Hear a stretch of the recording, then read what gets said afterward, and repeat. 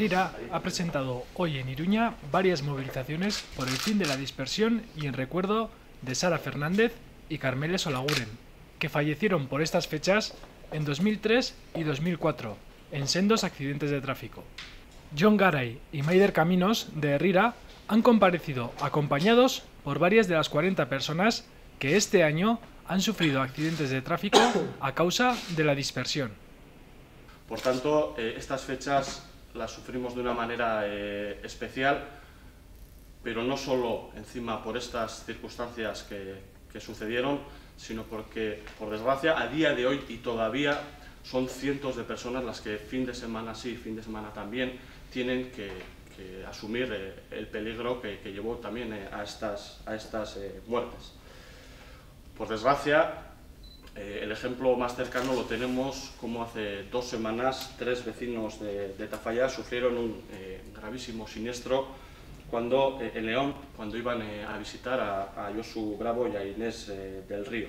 La presión y el castigo es cada vez mayor, el cansancio también. Y por desgracia, y encima, y se le añade a todo esto, no solo es lo que los familiares y los amigos y amigas tienen que padecer viajando, eh, por desgracia, o por medio de la dispersión, sino que hemos conocido dos denuncias extremadamente graves también en las últimas semanas.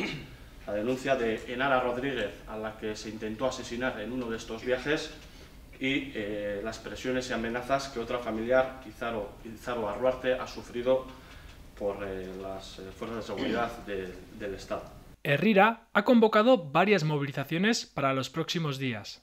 Este viernes 30 de noviembre llaman a una concentración a las 12 frente a la delegación del Gobierno.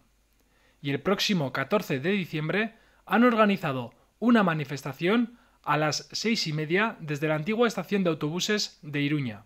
Decimos que hay una provocación porque la dispersión, por medio de la dispersión, solo buscan causar daño, generar más rabia y más impotencia. Todos y cada uno de los fines de semana se está coqueteando con la posibilidad de que haya más muertos en las carreteras.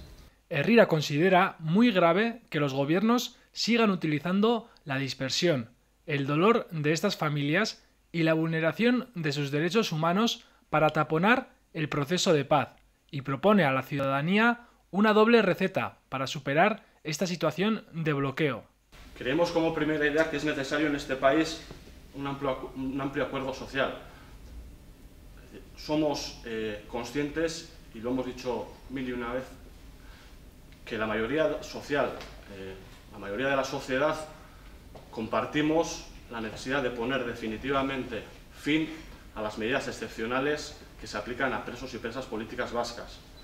El reto es claro, si estamos de acuerdo en eso, tenemos que generar un acuerdo social, tenemos que dar un paso para que esa reivindicación coja una forma determinada. Por tanto, una receta importantísima será esa. Entre todos y todas tenemos que generar en el conjunto de la sociedad un acuerdo que nos ayude a avanzar definitivamente para que esto termine. Y el segundo elemento que es redoblar la presión. Redoblar la presión desde una perspectiva amplia y encima permanente. O sea, la presión, generarla y llevarla a todos los sectores de la sociedad y encima que esa presión sea continuada. ¿Para qué? Para que los gobiernos de una vez y definitivamente den pasos positivos y terminemos con estas eh, situaciones. Estas movilizaciones y varias más que anunciarán en las próximas semanas se sitúan en el contexto de la gran manifestación del próximo 12 de enero en Bilbo, que para Herrera tiene una importancia capital. También estas movilizaciones tienen que ayudar para dar un paso de cara a esa movilización eh, de Bilbo y en Bilbo tenemos que visualizar ese eh, gran eh, acuerdo social, esa voluntad mayoritaria de acabar con la dispersión y con todas estas medidas de excepción y, en definitiva, ese paso popular, esa necesidad de dar pasos para eh, avanzar hacia la paz.